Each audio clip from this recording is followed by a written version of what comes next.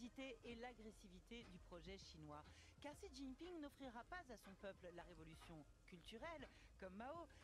de Villers, sur France Inter. Bonjour Romain Franklin. Oui, bonjour.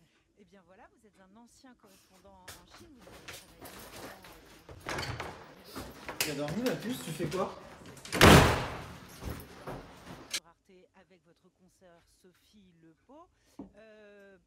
Inutile, chers auditeurs, de vous acharner sur votre ordinateur. hein. Exceptionnellement, ce matin, l'émission n'est pas filmée, tout simplement parce que c'est très difficile d'enquêter sur la Chine. Je te quitte. Pourquoi elle a écrit ça? C'est à cause de l'histoire du resto? Je sais que j'aurais pas dû m'énerver comme ça, mais elle aurait pu me le dire franchement plutôt que de le faire sur un vulgaire plateau de Scrabble. C'est sûrement à cause de l'histoire du resto. Il a dû croire que j'étais énervée contre lui. Après ça, il a dû se faire des idées. J'aurais dû lui dire que c'était pas grave, qu'il m'avait défendu et que c'était gentil de sa part. Mais pourtant, c'est bizarre, il sait que j'aime pas les scènes en public. J'ai tout gâché, comment je peux rattraper les choses? Bon, je vais pas l'attendre indéfiniment en bas, je lui expliquerai le malentendu au lycée.